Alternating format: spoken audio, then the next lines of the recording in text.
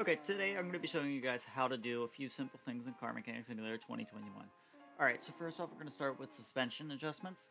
So, you can, as you can see on the screen, I'm adjusting the value. It's about two up from the bottom of the page, one, and you want to go somewhere between one and three typically. That'll be tend to be like point point one and three, or one and three.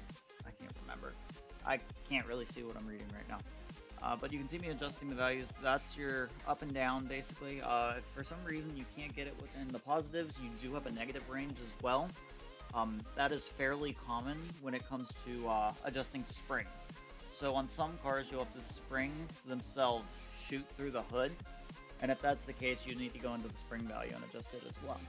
Um, in order to move around on the screen, you're going to need to uh, right right click and then uh, ASWD keys to get the editor open. When you go to launch the game, you want to launch the game editor. Now I'm adjusting the track, and that's once again minor values. You want to start in the further. Once again, the further you get in, the greater or the lesser the detail, the, gr the greater the fine tune. So now I'm going to do a quick size adjustment. This is so I have to adjust something else. That uh, that will be uh, again the uh, track value. I'm gonna shorten what the track value in this game does instead of uh, shortening something else. It like shortens, it makes the entire front end smaller almost. Uh, for rear ends on V8s, you really notice this. I hadn't noticed it as much on front ends. Uh, so, yeah, it's it's relatively simple, but it does take a little bit to get it perfect. I'm also going to show a little bit more with uh, engine swaps and stuff, but I'm not going to go into a full detail. I am going to show what I have done. So in order to that, you switch over to engine and you can go ahead and do it. Um, there is also a feature, so I'm going to throw a V6 in here and then show you how to adjust it. You can click on it, slide it, or you can adjust the values. I prefer to slide it, but that's not always an option. In the others category, which is what comes up right after this, um, you can add parts to the vehicle by pressing plus in the top corner.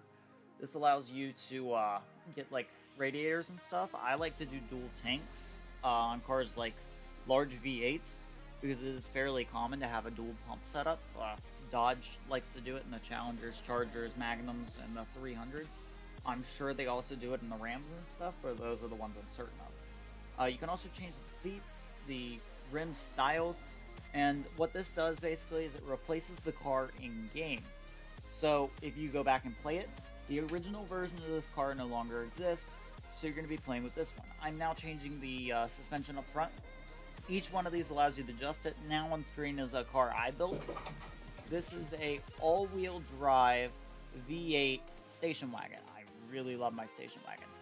So this car has entirely custom front, rear subframe, uh, custom interior, custom front seats and steering wheel, a custom exhaust all the way through it. So everything on here is custom. It's relatively simple.